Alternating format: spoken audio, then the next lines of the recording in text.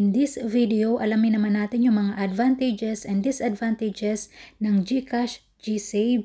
Pero bago yan, kung hindi ka pa nakapag-subscribe sa aking channel, please click mo na po yung subscribe button and bell notification button para updated ka sa mga next videos na i-upload ko. Thank you! So tara, alamin na natin ang iba't ibang pros and cons ng GSave sa ating GCash. GCash, GSave. So, unahin natin yung mga pros or advantages. So, since ang GSave ay partner with Simbank, so ito po ay regulated by Bangko Sentral at PDIC insured. And next is no initial deposit and no maintaining balance. Number three is with higher interest rate compared sa mga local banks. And next is easy to use for online transactions since nasa loob na siya ng GCash. You can pay bills, you can use your GSave money for paying bills, sending money.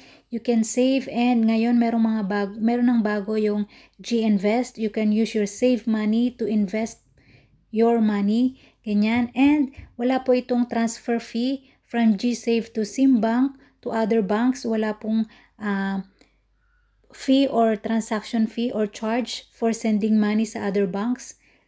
And then easy to access, deposit and withdraw. So you can withdraw anytime and deposit anytime. At ito rin po ay isang option for you to diversify your money. So para hindi mo lang po ilalagay yung isang yung pera mo sa isang place. So pwede kang mag-save for minimal amount dito sa GSave para hindi mo ilagay siya sa iba sa isang lalagyan lang. And punta naman tayo sa disadvantages ng ating GSave. So, first is wala siyang physical bank. So, kung gusto nyo ng physical bank, it's not for you. And kapag no data, no internet, wala ka ring access. So, kailangan mo rin talaga siya ng internet para ma-access mo. And minsan meron siyang maintenance, yung GCash, merong maintenance, minsan hindi mo siya ma-open. And ito rin ay prone sa mga hacks and scams kasi nga ito ay digital account. Kaya doble ingat, iwas-iwas sa mga pagkiklik ng mga links and huwag nyo isi-share sa inyong social media accounts yung mga details, ganyan. At ito nga po ay may, dahil sa prone sa hacks and scams, meron siyang high risk kapag naglagay ka ng mas malalaking pera dito. Halos naman ngayon ng mga banks ay may online banking na. So, nasa sa atin na lang po for pag-iingat para iwas hacks and scams. Kaya ingat-ingat na lang po. So, in summary, Gcash GSave is still good for me.